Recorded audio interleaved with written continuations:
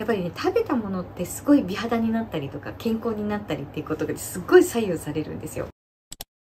今日は鎌倉に来てます。今からちょっとねいいとこ行くんででは行ってみよう。鎌倉まで来てお店にね来ております。見てください。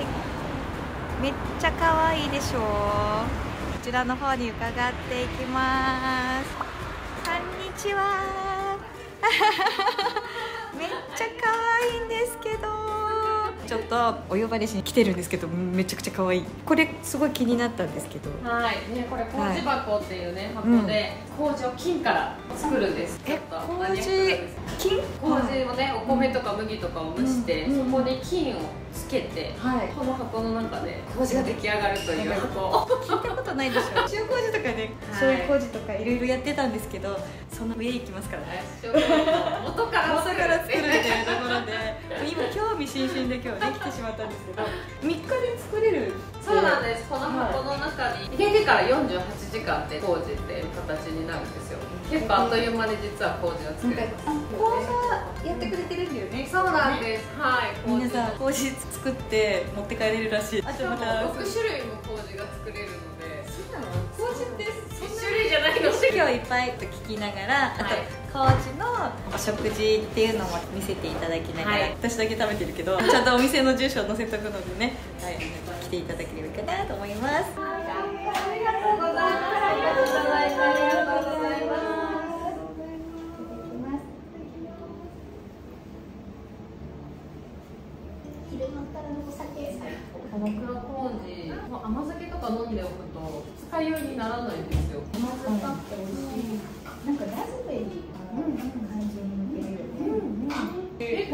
結構しっかりフルーティーで、私めっちゃ麹使うもんね。そう。料理すごい好きで、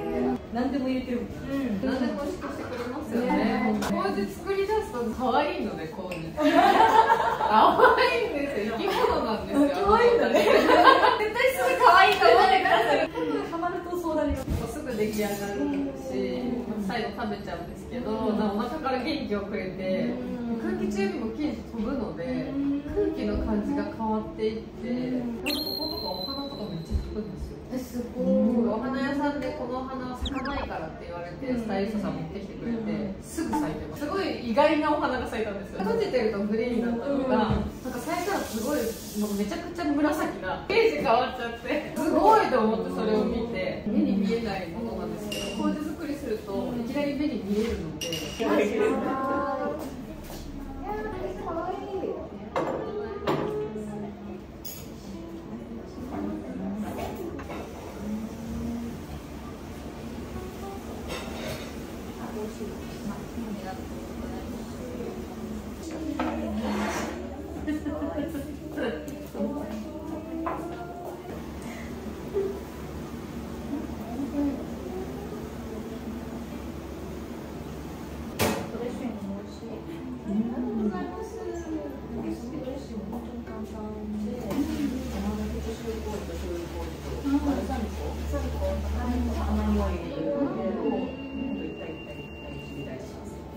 当に混ぜて美味しいです。先日鎌倉でね、工事スタイルの鈴木ひろみちゃんのとこに行って、お土産をね、いただいたんです。米麹しか買ったことなかったんですけど、4つもいただいたので、早速なのでね、塩麹と醤油麹を作りたいなと。見本はこちらね、もらったんですよ。これ麦塩麹。これが黒玄米醤油麹。で、この麦塩麹はご飯にね、一緒に炊くといいよって教えていただいたので、こっちは納豆にね、混ぜるだけでいいよっていただいたんですよ。なので、塩麹を作っていきたいと思います。私が作ってる米麹こんな感じなんです。こちらの方が黄色麦麹 200g 入ってます。この 200g に対して塩が 70g でいいですって教えていただいたので、まず 70g のお塩を混ぜます。麹酸と塩をね、自分の手で揉み込んでおきます。細かくね、固まってるものはちょっとほぐして。塩麹はね、私よく使ってるので、お味噌汁でしょ、スープでしょ、野菜とか肉でしょ、ドレッシングでしょ。ただ麹にこんなに種類があると知らなかったので嬉しいです。ひろちゃん最近麹愛をね語ってる YouTube をねやっているみたいなのでがっちりしたお勉強したい方はぜひ概要欄に載せておくので見に行ってみてください。塩をまんべんなく麹に混ぜちゃったら麹ね作るのに最適だって言われてるこの陶器で。今日はね海の塩がいいです。天日干しのねお塩をよく使います。入れてこんな感じになってます。麹 200g に対してお水が 270g 今250で270のでこれ入れてから20ですね。ちょっとずつ出していきます。私が普段ね作ってるこの麹より全然粒がね大きい。これを冬だと1週間ぐらいかかるかな？5日ぐらいから1週間ぐらい発酵させていくんですね。あと20よく混ぜておきます。水がたっぷり状態になってるんですけど麹とかをね吸っていく感じです。今こんな感じになっております。これは明日になったら手でね混ぜたりスプーンで混ぜたりしてこれ常温で保管しておきます。今度は醤油麹をつけていきたいと思います。醤油はねビタビタにしてねって言われたのでせっかくなのでこちらの黒麦麹を使ってやりたいと思います。本当に真っ黒なんだね。黒い麹初めて見たので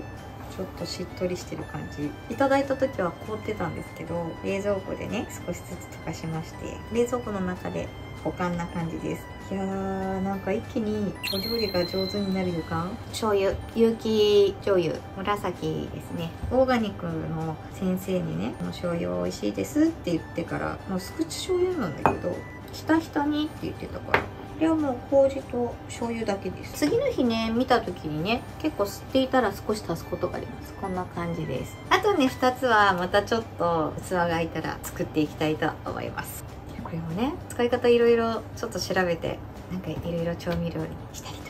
やっていきたいと思います。この麦塩麹をねこうやって書いてあったんですよ。お米ね3合に対して大さじ1これをね入れてまずはご飯を炊いてみたいと思います。美味しくできたら皆さんにねまた塩麹をねどんな感じに仕上がったよっていうのを見せてなおかつ美味しく食べれるドレッシングとかねいろいろ考えておきますので楽しみにしていてください。本当に料理ね苦手な方って結構多くてうちの生徒さんとかも考えて作るの嫌なんですっていう方いらっしゃるんだけどやっぱりね食べたものってすごい美肌になったりとか健康になったりっていうことがすっごい左右されるんですよ。なので好きになっとかないと毎日食べるじゃない。なので簡単にまあ見栄えよくとか美味しくとかインスタものとかねファミレスとか極力行かなくなりましたね。今日ね夜オンラインでね卒業式なんですけどどうだったって質問に皆さん答えが食事ねすごい最初大変だったんだけど便秘は治ったしとか体調良くなったしとかコレステロール値がねお医者さんに褒められたととか全然ね肌が変わりましたとかすっごい報告が来るので日々私は美容嬢って言って綺麗な美肌にしていくのももちろんだけどもしっかりね今ある40代50代60代の方は潜在的にすごく疲れてる方が多いので元気にしていくっていうことで簡単に美味しくできるっていう料理をどんどん出していきたいと思ってますので皆さんね楽しみにしていてください。塩麹と醤油麹ができたらまたねバートリーもちょっと増えていくと思いますので楽しみにしててください。皆さん一緒にねちょっとずつ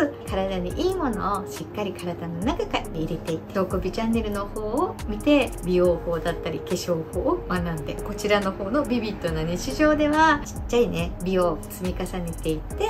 美しく健康に年をね取るのが怖くないという番組にしていきますのでぜひ一緒に綺麗になっていきましょう私はこういう使い方してますよとかどういう印象を持ったのかいろいろ教えていただけると今後の参考にねさせていただきますのでよろしくお願いしますではまた次の動画でお待ちしてしております。